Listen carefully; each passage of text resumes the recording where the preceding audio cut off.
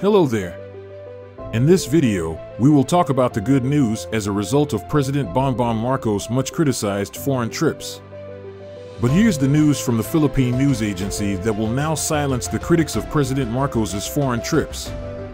The Board of Investments, BOI, announced that the BuhaWind Energy Project in Ilocos Norte would cost 360 billion pesos, 6 billion euro. The project, which involves the creation of offshore wind turbine generators with capacities of 15 to 20 megawatts each, will be located in Burgos, Bangui, and Pagudpud in Ilocos Norte and is expected to start supplying energy by 2028.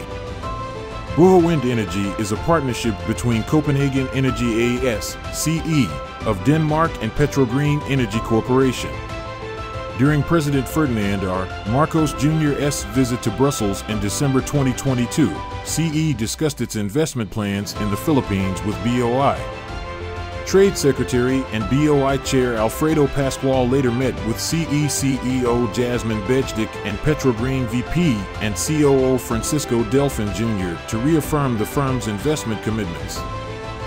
Pascual expressed excitement for the project's implementation, stating that CE has already secured a service contract and submitted a system impact study, including electrical design and proposals for power delivery to the grid. In November, BOI and the local government of Ilocos Norte signed a memorandum of agreement to promote, facilitate, and serve joint investments and attract more companies to the province. Bejdic noted that proper government support would allow for the project to be executed as planned, recognizing the Ilocos region as a valuable resource for wind power. The Marcos administration, through the Department of Energy, is encouraging investment in indigenous energy sources to meet the country's growing energy demand. An executive order is also being drafted to attract offshore wind investments.